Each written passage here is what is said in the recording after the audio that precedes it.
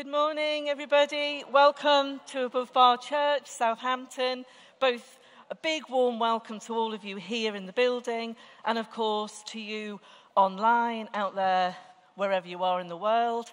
Don't worry, not interactive, we can't see you. That's fine.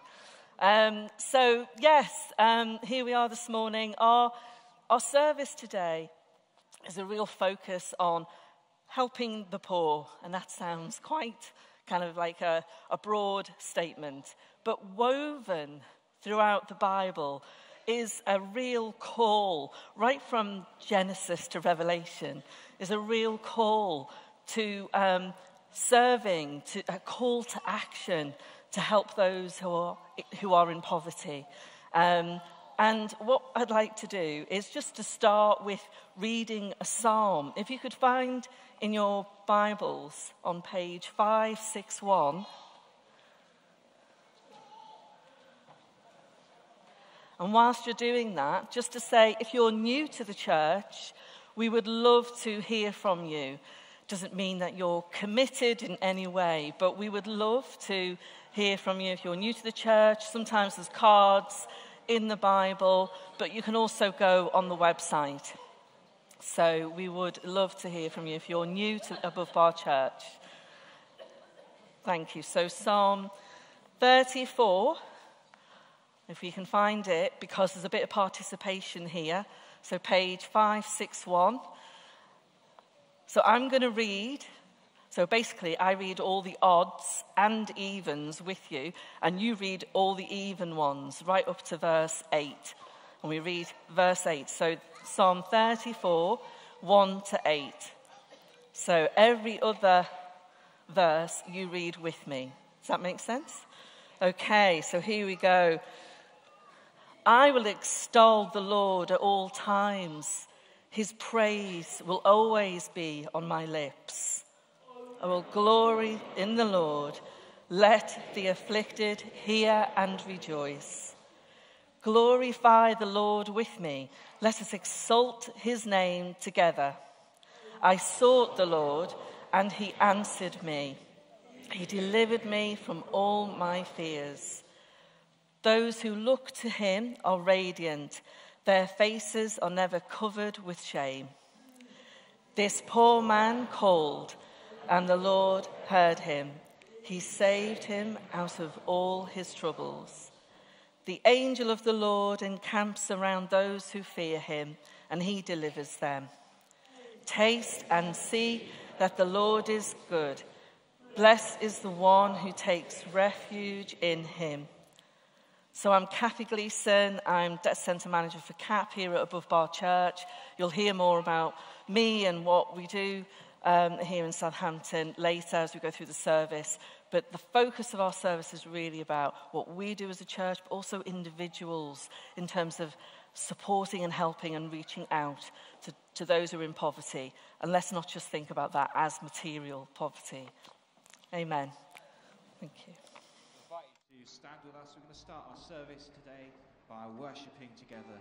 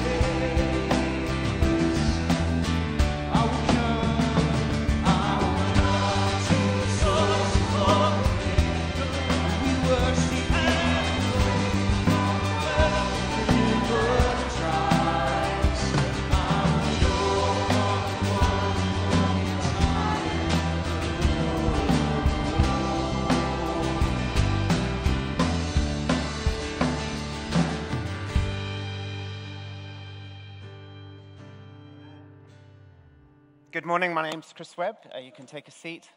Isaiah 40 says that they that wait on the Lord will renew their strength and they will mount up and rise on wings like eagles. They will run and not grow faint. Um, Kathy is leading our service for the first time, and so I thought it'd be good to find out something about her, about her background, um, and what she's doing. So, Kathy, tell us about your family. You're probably a very apt person to be leading this service. Tell us about your background, your family. Yeah, so um, first of all, they should have vetted me before asking me to lead the service. Anyway, um, sorry. No, um, so I'm youngest of eight children, um, born into a very Irish Catholic family. Um, and my mum and dad were very, I mean, every day they had to count the pennies, make sure that they could, you know, afford the rent, make sure that we had food on the table. Well, not that we could sit around the table, there was too many of us. Um, so, yeah, so, and, and, certainly I remember as a child my dad talking about um, just growing up in Ireland and just clinging onto the back of a chair, kneeling up on, on a chair and, and just crying out with the pain of the hunger that he was experiencing. Um, and it was in a really, really difficult time in Ireland. I mean, throughout its history, it had a difficult time. But, you know, he grew up kind of knowing what it was like to be in such pain with the hunger. And we never grew up with that. Mm. We were always, you know, we always had what we needed. Um, may not have had what we wanted, but I have to say, I, because it was very humble, I always only wanted my sister's clothes, and I couldn't wait until she was too big and she had to hand them down to me. I was like, oh, great, I can wear them. Ah, Kathy, I'm trying to impersonate your accent as you're talking. I think you, you, speak so smoothly. So obviously you're from, you're from Ireland, but you moved to Birkenhead or somewhere like that. and then... Oh, um, oh, so funny. And then Do I sound like that? kind of. That's hilarious. Go on. So, after, after growing up in, in the Wirral, yeah. you did some youth work in London. Yes. Oh, my word. Yes. So, I qualified as a youth and community worker, and then once all of that was done, I actually went to the East End of London, first of all, in um, South Canning Town Estate, if anybody knows that. And it is like the roughest. I mean, National Front was the big thing to be a part of. I mean, for those who don't know the National Front, it's now the British, whatever it's called now, I can't even remember what it's called, but very right wing. British, the BNP, National, British National Party. Um, and, you know, kids doing Ouija boards and all sorts of stuff in stairwells and drugs and everything. So, and then I went to the northwest of London to do youth work in a very different place, but as much need in some of the areas. And then came to Southampton, working in the Flower Roads, Mansbridge. I don't know if anybody knows those areas. Um, certainly in those days, they really had a, a bad reputation, especially for beating up and having big fights with students. Amazing. Because, of course, students were getting 10% discount in the shops, but people who were really struggling to get by each day didn't get those discounts. Mm. So there was a bit of tension. So in Southampton, you came, you came back to the Lord and yes. you came to Above Bar in yeah. 2012. And, and now you're a CAP debt centre manager. What's that? Yeah, so, well, I ask myself that quite often, but no, I basically. Um, Above Bar Church partner with CAP, Christians Against Poverty, and it started here in this church. I mean, it must be 10 years ago now, if not 11 years ago. And, um, and the centre reopened a year last February, so just over a year ago. And um, basically, CAP was birthed and continues to uh, remain rooted in biblical gospel and combining that practical help with spiritual truth. Um, so we support people who are in debt. They could be anybody. Um, no background is, no, there's no prejudice in terms of the background that people find themselves in debt. So we literally just walk alongside them and help them come out of debt. Um, thankfully, don't have to be good at maths to do that because the people at head office do all of that. Um, where our role as a debt centre manager, I recruit volunteers, we go to visit clients, support the volunteers, support the clients, and do things like this as well. Brilliant. Yeah. So we'll hear more about that as the service progresses. Yeah. Um, and over, back to, over to Ed.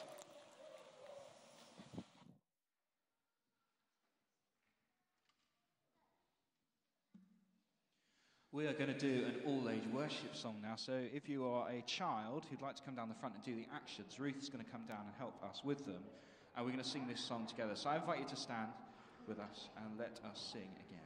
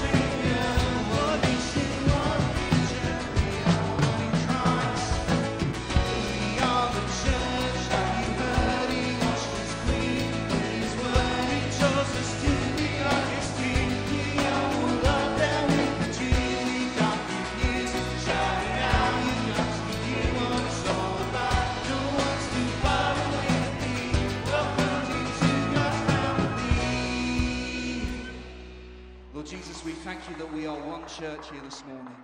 every age and stage in this church worshipping together. And Lord, we thank you that that's what church looks like. Now, as we continue through our service, we're going to send our children and our young people off to their groups. So, as we do that, we're going to have a couple of minutes of um, hubbub and noise. I'd encourage you to turn to the person around you and to have a conversation with them.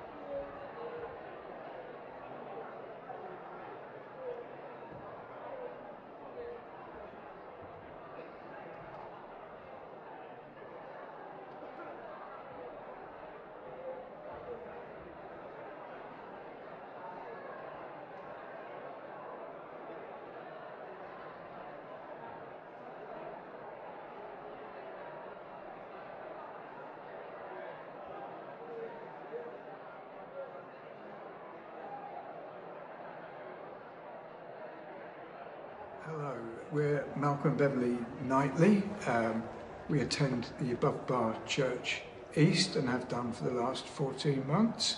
Uh, prior to that, um, we uh, were uh, church leaders down in Devon for a number of years and relocated to Southampton uh, for our retirement. We had um, previous experience with CAP quite a few years ago, but things have changed since then, and it's been absolutely brilliant to link up again with CAP as an organisation who uh, we have a great respect for and enjoyed working with in the past. We're currently uh, befrienders for CAP and uh, really enjoy that. I find it um, very encouraging that we're able to speak about Jesus straight away. People expect us to speak about him and to be able to pray with our clients on our first visit is amazing. Um, in previously, we've uh, it, when we were church leaders, we were befrienders for CAP, and um, we actually ran a an alpha course for uh, our CAP clients.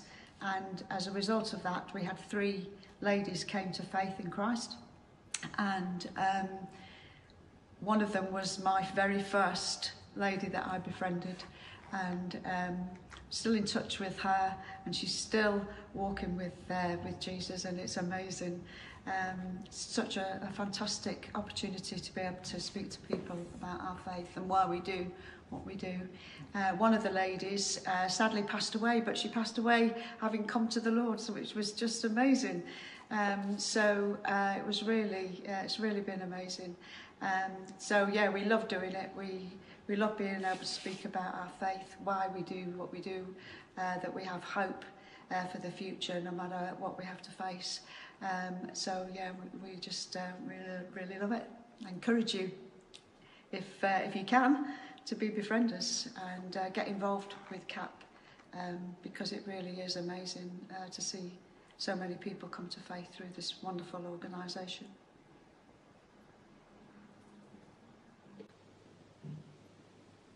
Hi, I'm Andrea, and I became debt free through the help of Christians Against Poverty. I heard about CAP when my sister brought me to Above Bar Church, Southampton. I was in a lot of arrears with my council tax, my water rates, I owed money to catalogues, etc., etc. And I felt really low, depressed.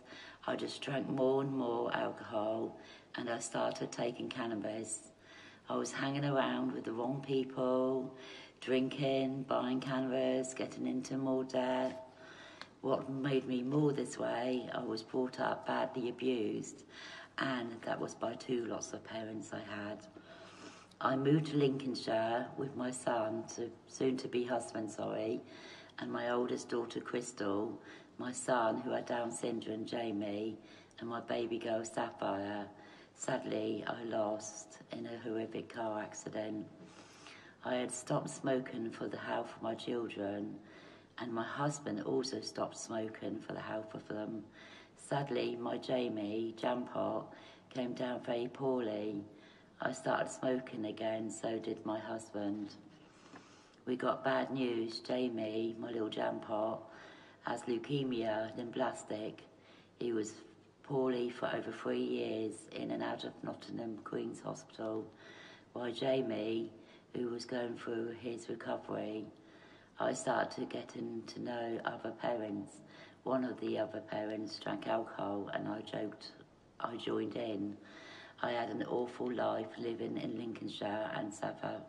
Once Sapphire and Jamie passed away, I moved back to Southampton, and the drink and smoke and weed got more and more worse. Then I met White, Dr. Uh, Steve White, sorry, from Christian Against Poverty, and they helped me. Set up a plan where I paid out a set amount each month, and they paid those I owed money to. These people were writing letters and knocking on my door. I even had a bailiff come to my house, and I was petrified, as my children were teenagers and had all the modern cons.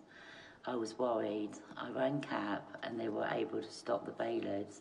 One month I could not afford to pay into my plan, so I called CAP. They said I could pay out of my savings. Oh, I didn't know I had any savings. That's good, I said. And they said this is what they budgeted for me, and this included it in my plan. I had enough to pay that month and enough money to get to start shopping. The help from CAP meant I learned how to budget, so I saved enough money when I became debt free to go on holiday. I planned a booked a, I planned a booked holiday to Greece last October, but sadly I couldn't go because I was very ill. Ended up having to get a stoma put in as I had a hole in my stomach, in my bowels. I believed God saved me from my life before I was in debt, while I was in debt, and when I was very ill. I now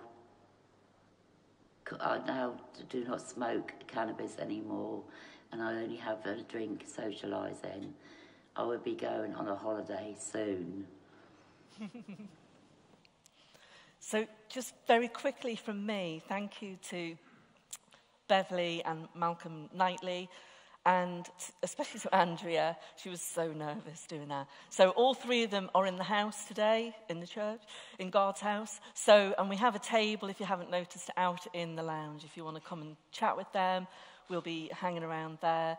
But just to say, to add to Andrea's story, that she has actually, we, we both just forgot, but she's actually given up smoking cannabis um, since becoming debt free. And she's also helping out as a volunteer with CAP.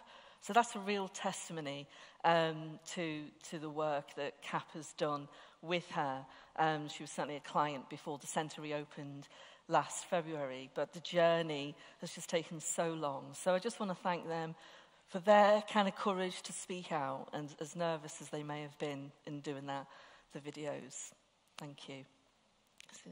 Chris, Ed?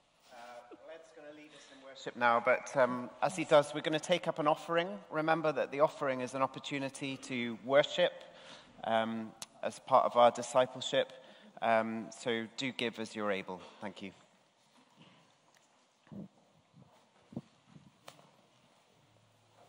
Yeah, such great testimonies there that we get to hear.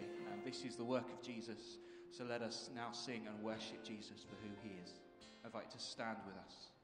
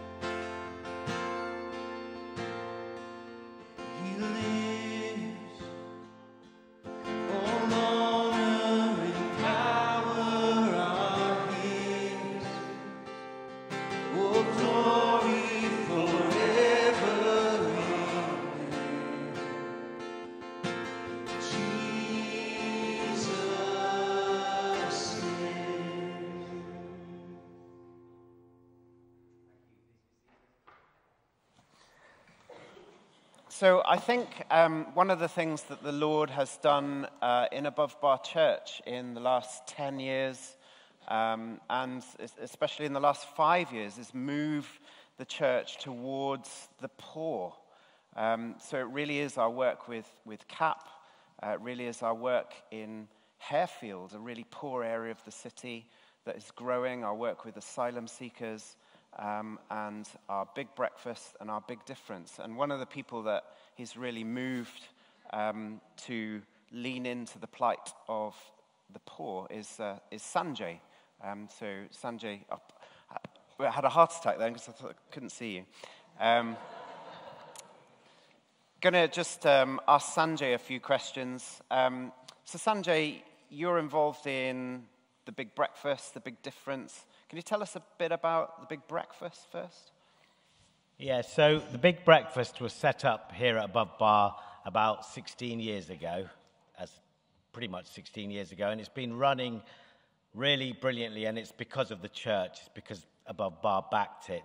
But it is a ministry that serves probably 50 to 100 people every Thursday, 50 weeks a year, um, and it's essentially a place where anyone can come. It used to be for the homeless, but now it's more about people who are looking for something community. And as you know, we don't have community spaces anymore, nothing like that. But this church is absolutely amazing at what it does and, and what it brings. And the volunteers that work with Big Breakfast, and there's about 20 of them now, um, you know, it's a ministry that goes on, but it's a lot of hard work. You know, essentially starts at half seven in the morning when I bring the van up with food, and then it's all got ready for 10 o'clock, and then it's served at 11. But that ministry is amazing because it's not just the food. Um, I have one of the ministers who comes and talks as well, so it's a different type of food. So they get to hear about Jesus as well. So they're not forced to. They can come here, they can eat breakfast, they can leave. They don't have to listen about God or Jesus or anything, but they come. But actually, you'll be, you'll be surprised how many people get quite aggressive there when it's loud and they tell people to shut up when Vic's talking or one of the leaders talking. They actually shout at each other and it's quite hard to control them. And you kind of, you don't expect that. That's something you do not expect. You expect them to fight about drugs, alcohol, anything, but not about Jesus. So it's working. It's working. Definitely give you a good listening. If you go over five, six minutes, though, they will tell you to F off. Yeah, they do. they, li- they do. Yeah, Vic's learnt to k- keep his talks to three minutes.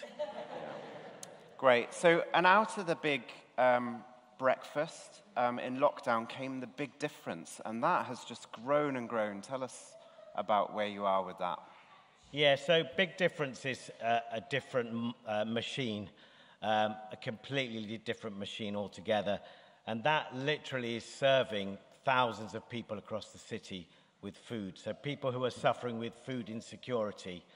Now, we, we, we think about food, we think about inflation, 11% down to 3 now. Actually, that's a load of rubbish in terms of food. Food and things like that are still way above 20%. And, the pe- and it's lovely looking at the CAP stuff there because it just reminded me of, of the people. And, and that there are thousands of people like that, stories I've got as well. And when they're telling you their stories, we're sitting here, you know, I, I, I'm, I, I've had breakfast this morning, I've eaten, my kids are all right, probably like yours. But when you hear their stories and you look at their struggles, you will be shocked at the level of poverty we have in this city. I mean, it is huge. There is no doubt about it. And people are crying. They're not, mums and dads are not eating, they are feeding their children as their priority. But when their kids can't be fed, there's a knock on effect, there's disruption. But anyway, I won't, won't talk about that. But the amount of food that the big difference now has um, Love Southampton did a survey back in December, and that survey showed that Above Bar big, big difference now separated, but gave 62% of the food to the people that sort of did the census. Um, we're doing way more than that. I know that because not everyone um, responded on that census. But that shows you the level of poverty. And we work with probably over, I don't know, over 60 organisations. I've been to Costco this morning at half seven, and I've got two grand's worth of meat ready to go in the freezer. So, you know, and, and meat, is a, meat is something that is so expensive. I mean, I looked at the prices on there today myself and had a bit of a shock. But it, it's shocking that that, you know, people can't eat that, but we've got it and we, we're giving it out to probably over 100 communities and schools, food banks across the city, pantry projects, 26 churches, you know, over 25 schools. Huge amounts we're giving away, but we almost can't cope with the volume coming in. It's coming in hard, and I've got to balance that with what's going out. So it's, it's a hard operation, but a brilliant operation. So it is hard. You're working long hours. Um, you're building this team. You've built this thing from scratch. I mean, it must take a toll on you. What, what can we pray for you as a church? How can we support you? Yeah, so I think support always comes in terms of volunteers and stuff. Financial support, people giving. I mean, one of my trustees believes in it so much that, you know, he's actually investing a substantial amount of money into it. You know, he's providing the infrastructure, all the, every, every bit of infrastructure I asked for, he's doing. But he really believes in it. And it's people who can and do believe in that it's, it's the project to invest in. And I'm not kidding. I think by the end of, by, when I'm here next April, and I haven't got to my targets, as some of my trustees are in here, I will get a slap round the head for not achieving my targets. But I'm fairly, I'm fairly confident I will achieve it. It'll be sustainable by April 2025. Um, so if we can pray for basically my team of volunteers, there's about 20, 20 in Big Breakfast and probably about 30 in Big Difference. If we can pray for them because it is those guys actually make it work and then pray for the core team to, sustain it because they're doing long hours. I think I'd sometimes do 80, 90 hours a week, but that's coming down now um, because we're putting in infrastructure. So I think it's praying for that and actually praying for the blessing of the church because it is this church who I'm very loyal to who have actually provided that infrastructure. They have, they have put in the investment, they have put in some of the money, they have put in the team. So it is this church that needs to really, you know, be thanked. They're, they're brilliant. Brilliant. Thank you. So um, our Kathy's going to pray for you. Um, if Angela has taken a ho- is going to take a holiday. So should you, mate. You know, yeah. Don't work too hard. Bless you. Nearly fell then. Father God, we just thank and praise you for Sanjay. We thank you for the vision that he saw, not just with the big breakfast where it started off at, but just developing the big difference. And we know there were other players involved, such as Arshad back in lockdown. And Lord, Sanjay's kind of open heart to hearing you, to receiving you in his life has been such, it's such an inspiration to so many of us who've heard his story. Father God, we pray that you give encouragement to him, to all the volunteers. Um, and yeah, the trustees, Lord, give them wisdom. All those who are involved in leading um, and, and looking at trying to support and develop the big difference, Lord. The shops who supply food, we pray for the infrastructure, Lord, that that will be um, strong and robust. Um, to provide this service to so many people.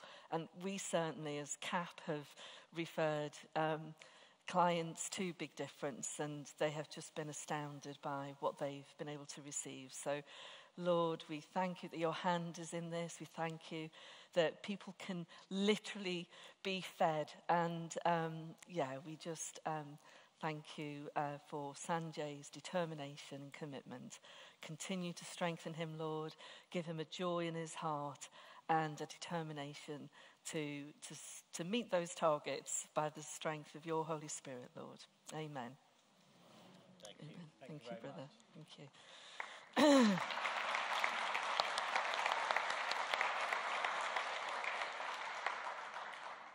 So let's just continue in prayer. Father God, we just thank and praise you for this church family.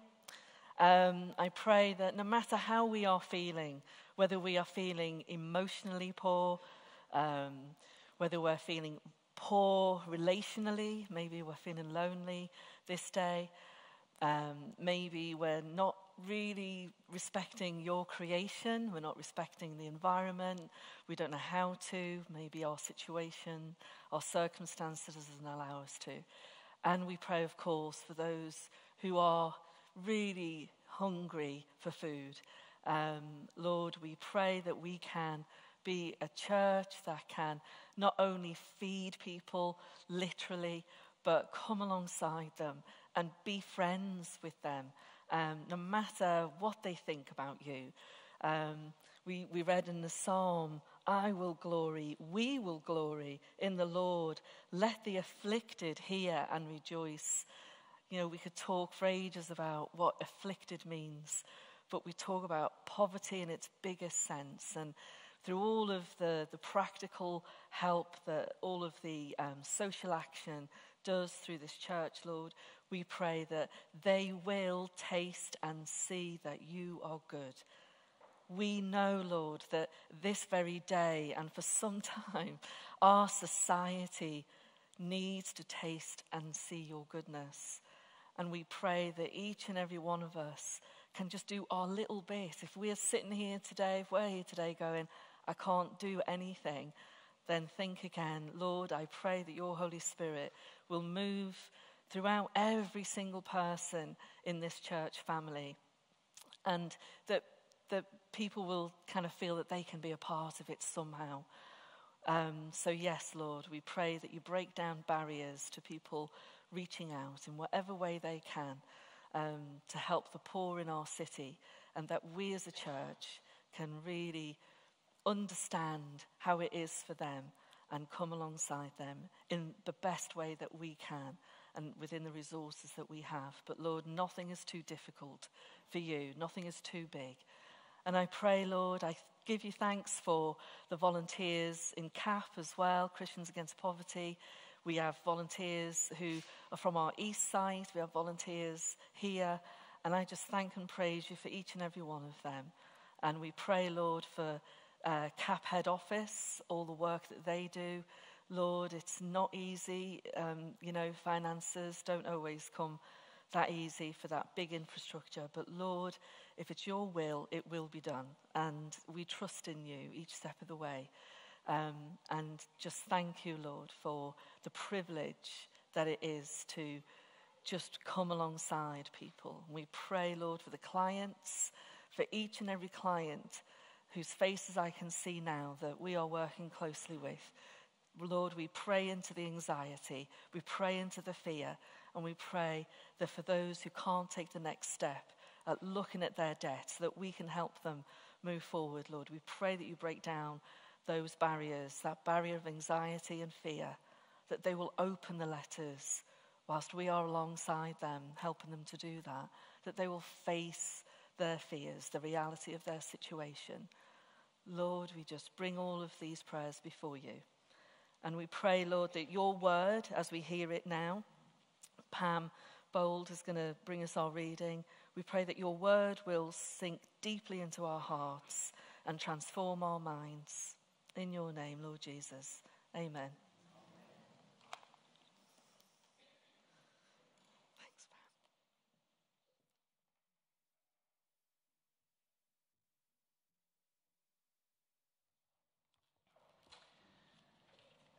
The reading is from Isaiah 61, verses 1 to 3, and it's on page 749. The Spirit of the Sovereign Lord is on me, because the Lord has anointed me to proclaim good news to the poor. He has sent me to bind up the brokenhearted, to proclaim freedom for the captives and release from darkness for the prisoners proclaim the year of the Lord's favor and the day of vengeance of our God, to comfort all who mourn and provide for those who grieve in Zion, to bestow on them a crown of beauty instead of ashes, the oil of joy instead of mourning, and a garment of praise instead of a spirit of despair. They will be called oaks of righteousness, a planting of the Lord for the display of his splendor. Thank you very much. So, a couple of times a year at Above Bar Church, um, what we try and do is um, we have a series where we talk about the DNA of Above Bar. We reflect on what type of church are we? What is God calling us to do? What is God calling us to be? And I think the answer to that question has changed a lot uh, over the last 10 years. Throughout its history, Above Bar Church has been a large student church, the, the biggest student church in the city. Um, it- that's changed. We're now a very diverse church as I, as I look out, people from all over the world, lots of nations. And we're reflecting the city far more in terms of our, in terms of our demographic. But, you know, actually, we're known now among the other churches as the church that's serving and reaching the poor. There are many churches that are, are ahead of us in that, but it is these ministries of CAP, of the Big Breakfast, of the Big Difference, our work among asylum seekers, our work in Harefield, and even as we heard last week, um, through supporting the Yernsens in Papua New Guinea, our work in a poor tribal area. They have literally saved that tribe physically. The tribe would have died out if the Yernsens hadn't gone. They've saved it linguistically by providing written words, the Bible in Sarimi language, and they've saved the tribe spiritually. The tribe is a Christian tribe. Now, we don't want to give up on anybody, and I hope that um, in your home groups you regularly pray for and talk about what we might call your front lines, your workplace, uh, or your, where your hobbies are, your tennis club, whatever it is, where you spend time with people, where you're pursuing your occupation and your hobbies. And, and I, I hope that you do focus on that and you pray for people connected to those areas. But what was Jesus' focus? You know, Luke's gospel records Jesus preaching his first sermon on Isaiah 61. So if we turn to Luke chapter 4, verses 14, uh, verses 14 to 21, we see Jesus going into the synagogue and the scroll of Isaiah is handed to him. And on the Sabbath day, he unrolls the scroll, verse uh, 17, and he found the place where it's written. And that's Isaiah 61. The Spirit of the sovereign Lord is on me, he says. He's anointed me to proclaim good news to the poor. He has sent me to proclaim freedom for the prisoners and recovery of sight for the blind, to set the oppressed free, and to proclaim the year of the Lord's favor. And then he rolled up the scroll and he sat down, and the eyes of everyone in the synagogue were on him. And he began by saying, Today, this scripture is fulfilled in your hearing. In other words, Jesus says, This is, this is what I'm about. I am about, my, my focus is on proclaiming good news to the poor and proclaiming the year of Jubilee, which I'll talk about in a minute. So, why should Above Bar Church be passionately and radically involved with the poor? Three answers because of the future, because of the present, and because of the past. So, first of all, because of the future. So, Jesus says in, um, as Messiah, I am anointed. That's what Messiah means anointed of God, to bring good news to the poor. And then he says to proclaim the year of the Lord's favor. That's the year of Jubilee. That's a reference to Leviticus 25. Every 50 years in Israel, there was a law where all debts were cancelled, where all slaves were freed, where land went back to its original allotments. And through that law, God was saying, I own the land, and I'm the author of whatever wealth you might accumulate, and I do not want permanent poverty in this nation. But when Jesus came, he was proclaiming the Jubilee, saying, I'm going to cancel all debts, I'm going to release all prisoners. Anyone who comes to me, I'm going to forgive all their sins. He was saying that he was bringing the, the power of the future kingdom where there is no debt, where there is no slavery, where poverty has been made history. He was bringing the power of the future into the present. That's what it means to proclaim the kingdom. The kingdom is a foretaste of the future.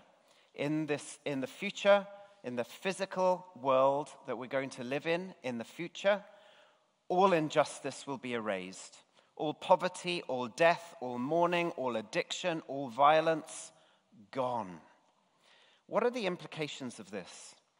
If Jesus is going to end poverty and death and sickness, well, then, well, that should be reflected in his followers now.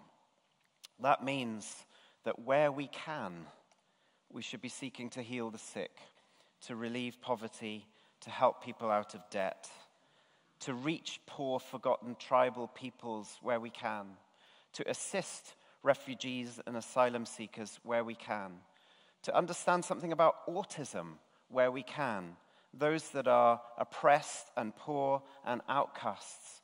This is Christian thinking. You know, until Jesus, most people felt that the poor and the downtrodden and the slaves were born that way and they should stay that way because there was a class that were born to be subjected and there was a class that were born to rule. That was what Aristotle said. Look at this uh, quote from Aristotle. For that some should rule and others should be ruled is a thing not only necessary but expedient. From the hour of their birth, some are marked out for subjection and others for rule. We lived uh, in a Buddhist country for five years. And it's very much that. This, this is karma. Your lot in life that is given to you now is the result of how you've lived in previous lives. Where did the idea of public hospitals come from? Well, it came from Christianity, from the Byzantines, inspired by the gospel, inspired by Jesus' preaching and proclaiming of the kingdom of God. Because of the future kingdom to come, Christians looked after the poor and the infirm, and it was completely countercultural. And people noticed it and remarked on it, and some scorned it, but many embraced it. So we care for the poor because of the future kingdom that is coming. Secondly, we care for the poor because of the present. Sanjay referenced the fact that we are living in a cost of living crisis. If you have a family, particularly, unless you have wealthy parents that can help you or a very high income job, it's a struggle to pay the bills, isn't it? We can't pay the bills. We get our family and our friends. We write a prayer letter. We spend a thousand pound a month more than we earn. Um, and that's us. And we are so privileged to have wealthy uh, family. But this is, this is why so many, not just the downtrodden poor, but so many are dependent on food banks. And when the fixed mortgage rate ends in a few months, it's going to be even harder, isn't it, for so many?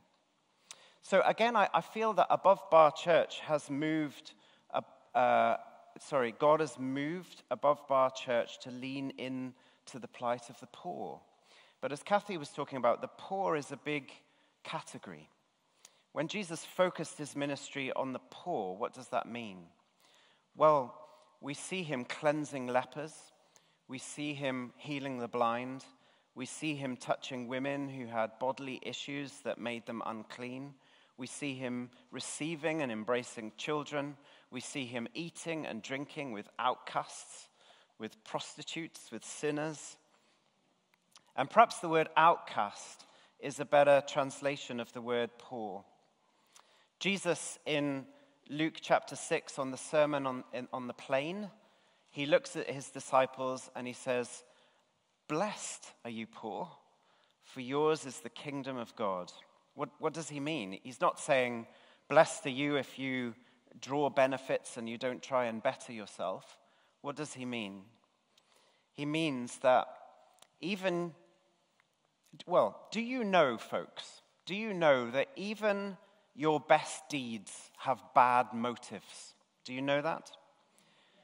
Do you, do you know that you are spiritually bankrupt without without God moving in your life? Do you believe that your only hope in life and death is the free generosity of God? Do you know that?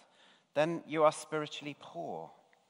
This is how you come into the kingdom. Jesus says the only way to come to God is to be poor in spirit. Only the spiritually poor can receive salvation. But it's often those who are materially poor that know that they're spiritually poor and know their need and are able to receive the gift of salvation. But if you come like this, then it should change the way that you look at the poor for the rest of your life. If you truly are spiritually poor, you will love the materially poor. You'll realize to some extent that you're looking in the mirror because you realize in the words of John, who wrote Revelation, that you're wretched and poor and blind and naked yourself spiritually, you'll want to help the poor. And, you know, as Sanjay was talking, I was thinking about our own very, uh, our very own Vic Jacobson. I saw here this morning. Vic's still speaking at the big breakfast.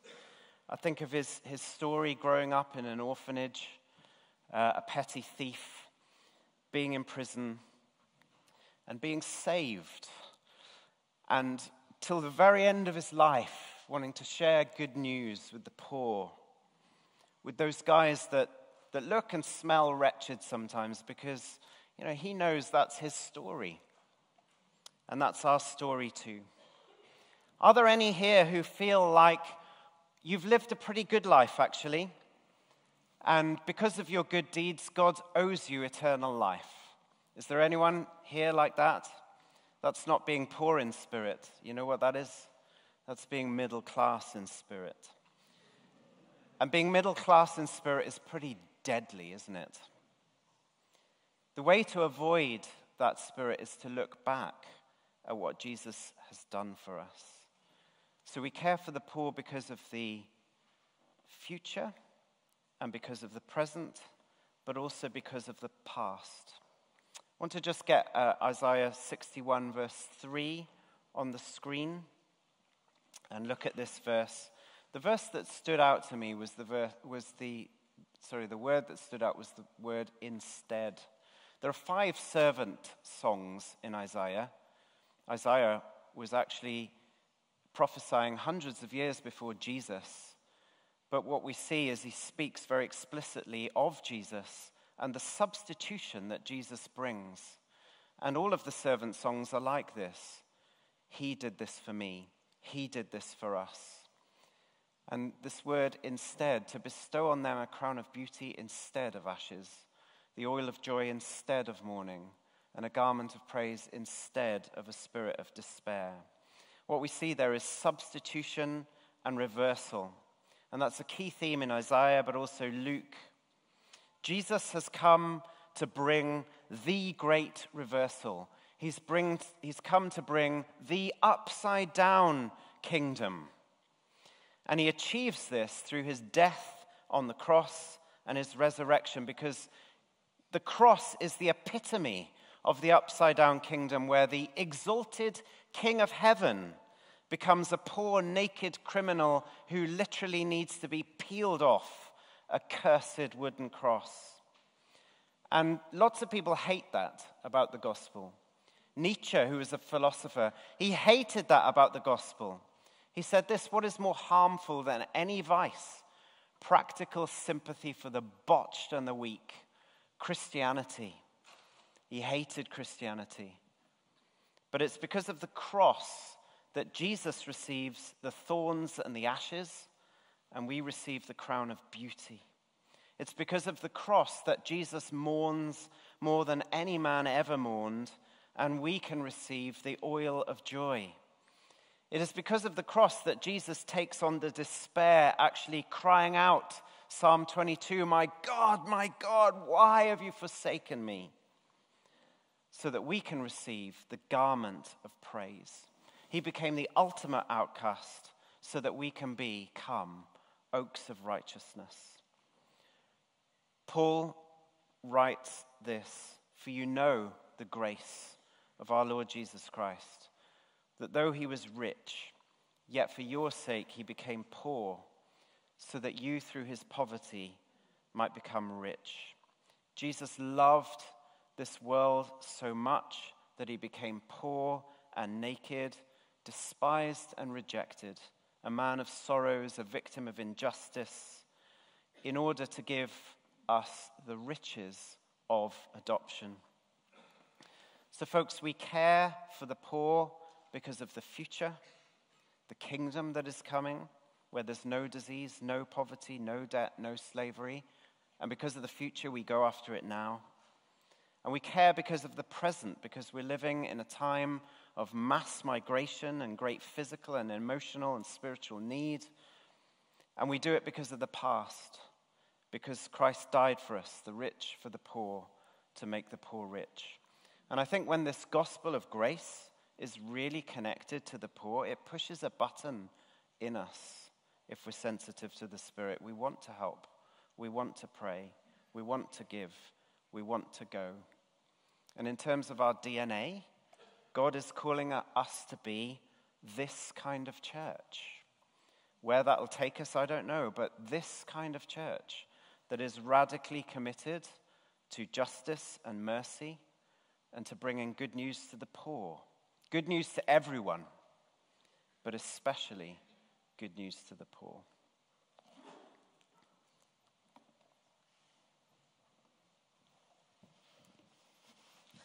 Thanks, Chris.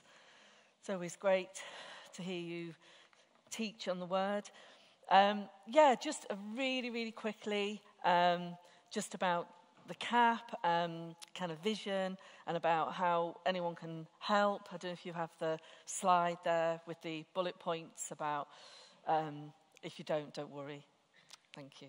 Okay, so just we do have a vision to grow the, the CAP team to make it more robust.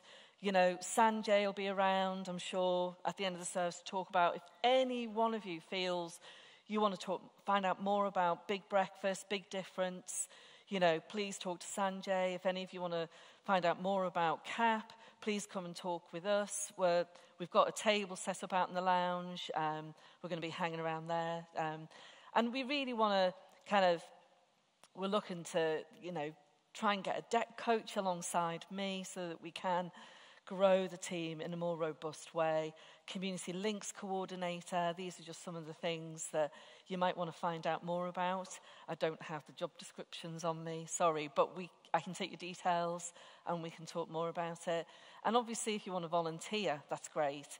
Um, and we can talk about that. And then next slide, I think there might be a little bit, yeah.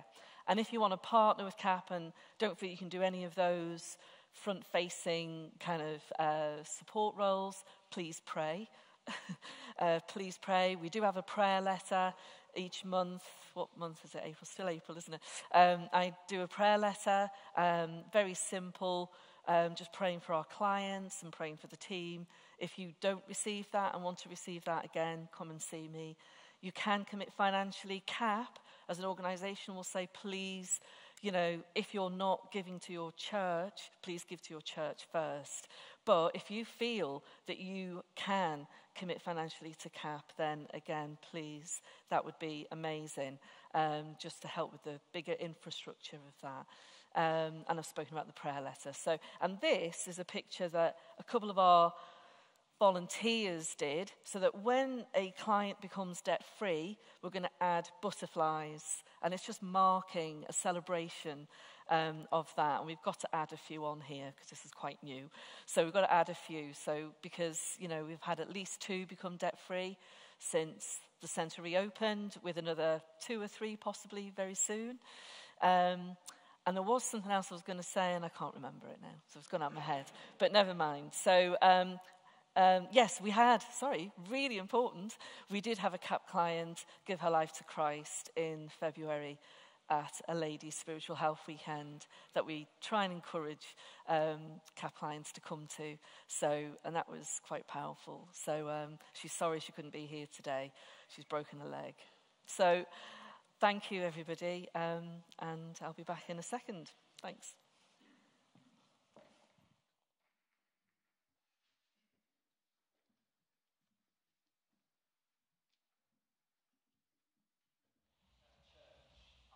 I would ask you to, to bear with me here. I'm going off piece. This is not something we do uh, particularly often, but uh, as, as I've been listening to everything sat in the front here, I just feel really excited about this gospel opportunity.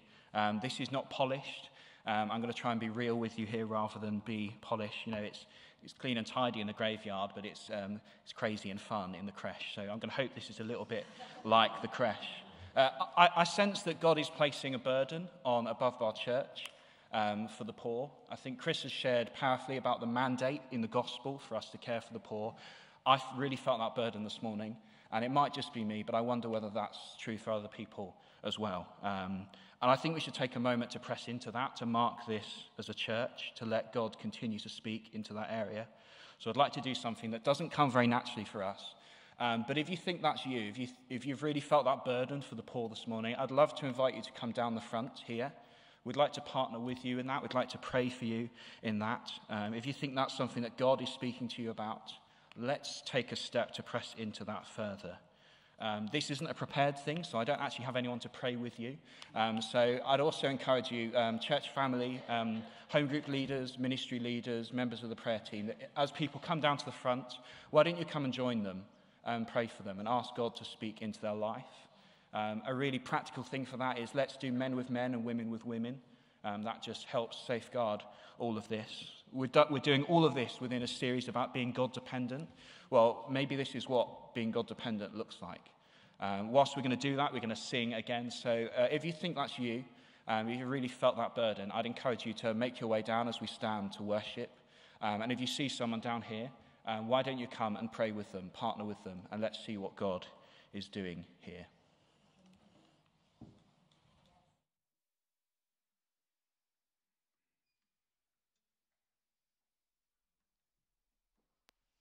I invite you to stand with us. Maybe now is your opportunity to come down to the front.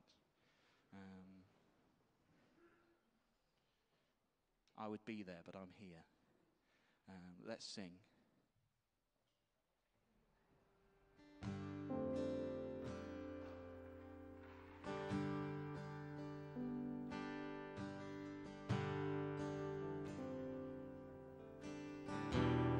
There is strength within our soul.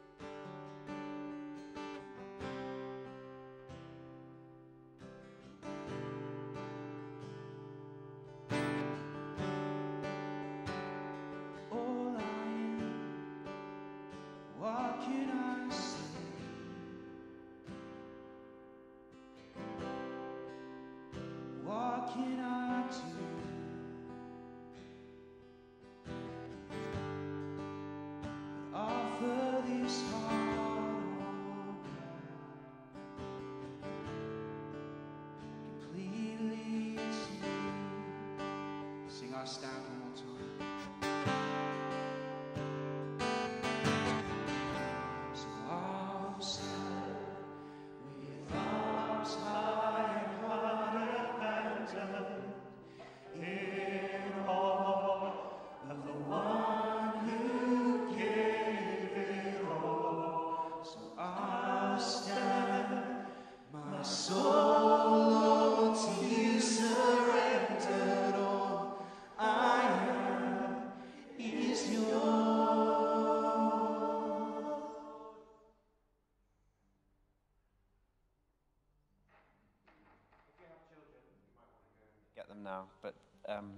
friend here has just asked to share something for one minute.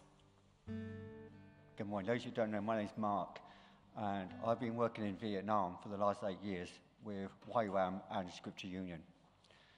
Um, I have seen poverty at first hand in Vietnam for the last eight years. Um, children starving, parents abandoning their children because they can't afford them. They actually leave them at the orphanage on their doorstep. It's a big problem in Asia. And parents just cannot afford to look after their children. And if they can't afford to look after them, they just abandon them on the street. It's, it's a massive problem.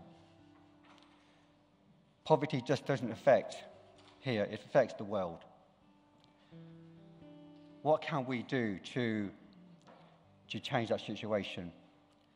Is to pray, is to work what work was going here, to trying to change lives, and to trying to change the world we're in. As far as I'm concerned, poverty shouldn't exist. Poverty shouldn't be here. But unfortunately, it is. And as a church and as a Christian community, we should work together, pray together, work together, and to save lives and to bring people to Christ. And as a church, we have a responsibility to, to witness to these people, but also to help them through their time of need and time of trouble. If it's just to be there, just to pray for them, to put your arm around them, to pray for them, that makes a big difference to them. So I do urge all of you, please take up this challenge and do something to change the world and to change poverty. Thank you. Okay. Thank you for that. We've come to the end of our service. If anybody um, wants to receive prayer, pre- please come up to the front. We have the prayer team who will be only too happy and willing to pray with any of you. There is, remember, there is no nothing that's too small or too big that we can't bring to the Lord. He's interested in every part of our lives. So thank you for being here today. Have a blessed week. God bless.